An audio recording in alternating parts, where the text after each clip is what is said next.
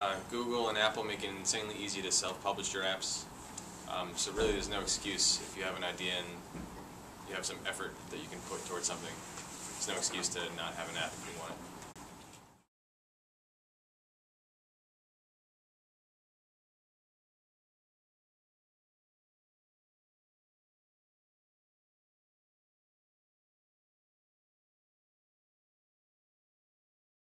Right now.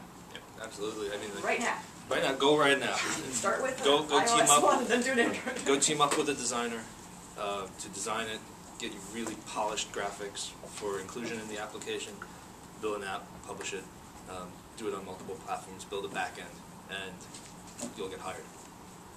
There's a lot of meetups. Meetups. Okay, meetup.com. Um, Meetup.com, Raizlabs actually hosts one um, every other month or so. It's called Drinks on Tap. It's uh, a mobile meetup specifically, meetup. so you got Android developers, iOS developers, designers. Yeah. There, there's other mobile meetups. There's also specific design meetups as well. Um, Okay. And I'm forgetting the name of it. Um, there's also like local workspaces, uh, like shared workspaces, uh, Work Bar, um, and they also have open nights where like a lot of mobile developers come in. NS Meetup. Um, now I'm thinking of the, the actual names of the other local meetups. There's Cocoa Heads. And Cocoa Heads, they have a monthly meeting at MIT. Um, and it's just a bunch of iOS and Mac developers in a room talking about the problems they're having, and everyone solves everyone else's problems. So, good place to meet developers.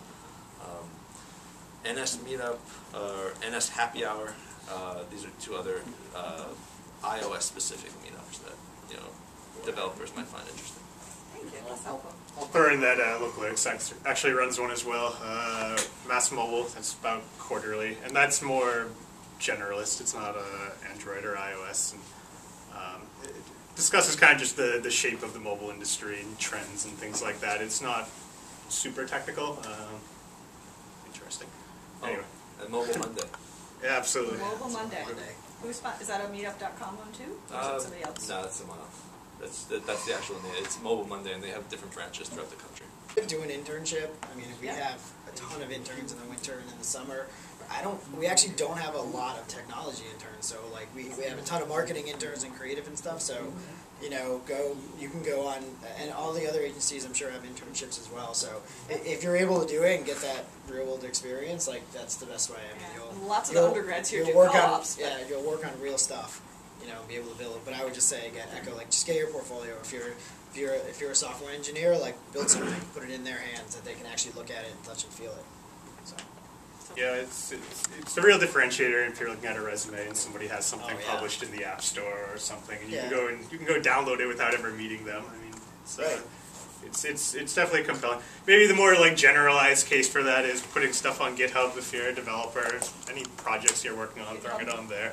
Um, it's not necessarily mobile specific, but it can be. Yeah, So I got into mobile development because uh, one of my former bosses at one of my co-ops said you should make this app for us. I said okay. Um, but I enjoy mobile development because I love working on consumer-facing products, and it's such a it's such a huge market that's growing insanely fast. Everybody's got an iPhone or an Android phone. Um, since that initial app, which was traffic app, uh, I went off and made two apps on my own called Catch the Bus and Catch the T, which work in uh, Boston Transit System, and just the ability to make Catch the Bus in like a long weekend over Thanksgiving break, be in the App Store, have my friends actually get a useful app and use it on a daily basis, just get that feedback. Uh, it's been very rewarding. And yeah, the things that these smartphones can do and the possibilities that they open up with all their sensors and the fact that you always have them, it's just a total different medium. It's not a computer. It's it's that you sit down at. It's it's something personal. It's yours. You look at it all the time. You you know you may never be further than two feet away from it, uh, and it's it's yours. It's not like a shared resource. so it's always been interesting to me as far as you know what can we enable the user to walk away with um, instead of having to sit in front of a larger workstation or a laptop. You know, things are getting so portable now that you have such incredible power on the iPad uh, or the iPhone even. Um, power that you know, exceeds everything that you could do on a desktop computer just a few years ago. So there's really no limitations to what you can do now as far as the uh, types of data you can present, the types of user experiences that you can present. So that's kind of what's driving it for me. I think a lot of it with mobiles was just the gadget aspect. Like I just love the gadgets, and I mean the phones are just becoming so nicely made that you know you look at an iPhone or you look at um, some of the new other Android phones that are coming out and the iPad Mini and stuff like that, and they're really nicely made. I mean, I guess I'm just a total nerd and I love that stuff. Um, you know, so that that was kind of like what, what drew me to it was just Yeah. that. I remember when I first got like the the first iPhone, like just amazed at like, Like, having the oh. internet and then like and the amount that you use it on a daily basis and you know to some extent I actually like to put it away for a little while because you get too too attached to it. Um, but I mean, f- for me, it's just like having all the information when you travel, everything you have. It's just like it really has changed the way that we that we you between college and professional career. Like it, it's just really insane from when I started, you know, seven years ago at Digitas to to now. It's like I, I don't even need my computer that much. I, I really don't.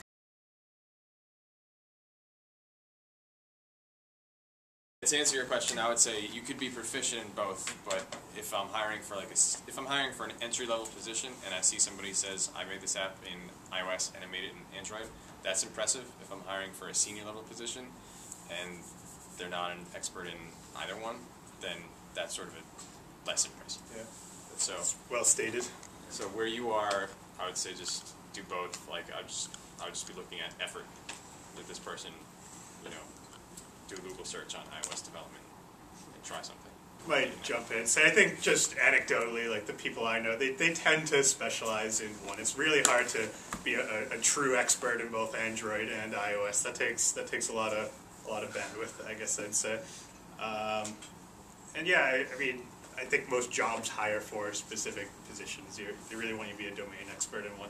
And I, I'm not I'm not saying that with any huge amount of authority. It's just kind of anecdotally how I feel that out.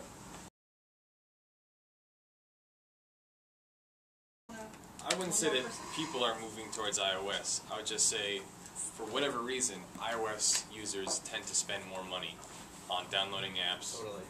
buying things in those apps, you know, App Store or in-app upgrades, for whatever reason. Um, Maybe it's They're easy, just higher ease of use. what you're saying. It's Yeah. very easy to, like you said, it's very easy to download something. They're making it e- even easier now, where like you know, just an app store, you download it, you can buy stuff right in the app. It's it's it's no brainer. A- Apple captured the, the premium market for mobile devices. Sure. You know, they own the premium market. If you if you want the premium phone, you're getting an iPhone. It's you know people go people lead with iOS first because revenue per user. You know, if you're a, a capitalist, uh, and that's a big input into things. That that's huge between Android and iOS. Uh, you know, there, the iOS store. I think I read like in in one year it made more than Google Play has since inception. Basically, there's a really big difference in the amount of people who are actually spending money to buy apps and. I think like a lot of companies, that's probably kind of a catalyst of why they, they lead with iOS. And uh, I'd also echo that I think yeah, that's generally more demand for iOS Boston in this this startup scene right here. Well, numbers supported too. I mean, we're working on an app right now. We're actually sunsetting an Android app because after having it out for two years with both, we just, I mean, the, the numbers are so skewed towards iOS, and this is a free app that's being downloaded. And so, like, we, you know, when we're updating now this app, we're, we're recommending to our client to, it's not worth your development effort to, to go back and do this Android update. Like, just like stick with your iOS app and like put your development money into that to be able to use it. So, I mean, and that's not always the case, but I mean, in this particular case, we're able to look at the numbers and just say they don't lie. Here's a downloads in 12 months. Here's a downloads in 12 Yeah. months. You put the exact Specific same metrics. right. Yeah. You put the exact same advertising dollars into both, saying download it on iOS and download it in the Android market, and, and you can see what the what the rate is. So.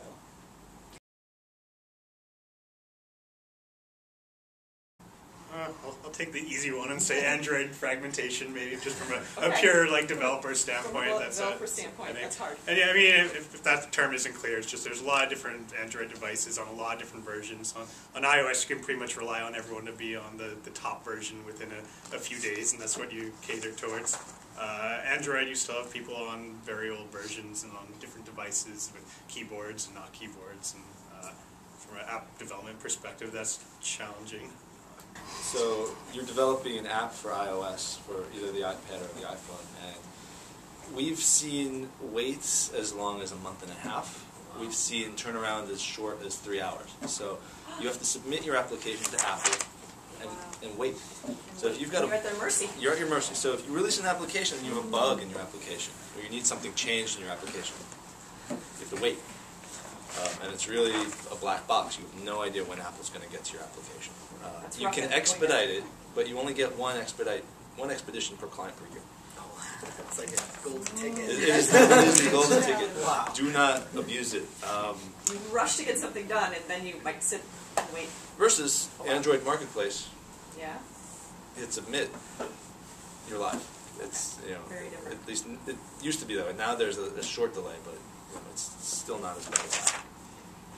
I think Different most of my challenges are internal at PayPal. PayPal's such a huge company. The our QA team happens to be in San Jose, which is unfortunate.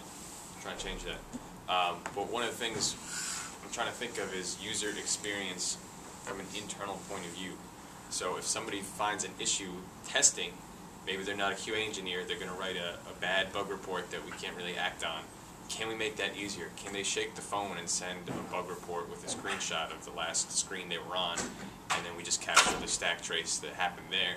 Uh, can we make it trivial to install dev builds and make it impossible to have the wrong one? Um, can I just streamline any development process? If, if we don't have test users, can I press a button and get test users? Can I save time by making dev builds and automating that? So this is just streamlining the process, getting people to stop talking to me so that I can manage my team and not outwards. That's that's my challenge. Mine's always budget. I mean, it, it's. I mean, working for an agency, every every hour that every person on my team Mm-hmm. spends is getting billed to to a budget. So, you know, it, it's it's trying to get people to work work hard, but also work smart. And I mean, it, it always comes down to we have a certain amount of dollars that that we can put towards it, and you know, we have to figure out what features can fit into that and what can. And you know, maybe you have some money left at the end of the day, and you can fit those other things in. Maybe you don't, and you're over, and you have to ah, kind of go back and you work. have to cut something because you don't have it in the budget. That must be very frustrating. Uh, it's it's less frustrating to me and more frustrating to To my the- technology and creative teams, Yeah. where I have to tell them you can't have this, uh-huh. and they don't like that answer.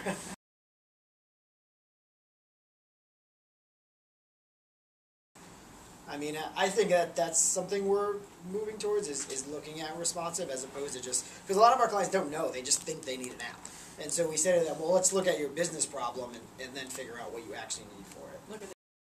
We, we typically won't refer people to other agencies. Well, Digitas is quite large. because we want- Yeah, so and I mean, I think one of the, the great things about Digitas is is we'll, we'll full service in that, and I mean we've worked with Raizlab too on, on projects that we've had, just you know, and but I mean we have uh, we have a full UX team, we have a full creative team, S and A, like we have every capability at Digitas. So when they come to us and say, you know, oh we want to do an app and we figure out responsive web design, like depending on the client, either they already have those resources in their on their retainer, or it's an incremental project where we're going out and we're getting those resources. Um, we have a like I said, we have a full UX team that we'll work with and bring it in, and you know a lot of times, a lot of times most most of the bigger clients they already have a UX designer on their on their team. It's in their retainer. It's what they have every year, and so we'll be pulling them in to do it. And the same thing with the creative team, design team. Um, we have a specific mobile team at Digitas, and and we use them really mostly for consulting. So you know if, if we do mostly digital stuff at Digitas. So like when we do do that um, mobile specific stuff, we'll we'll go to the mobile team, which we have um, a UX and a designer and a tech lead on each one, and they'll come in and they'll consult because they're they'll work with those designers that may not design specifically for mobile, but you know we want to make sure that they understand because it's a very different screen than just having something else. So we, we pretty much will do it all in house.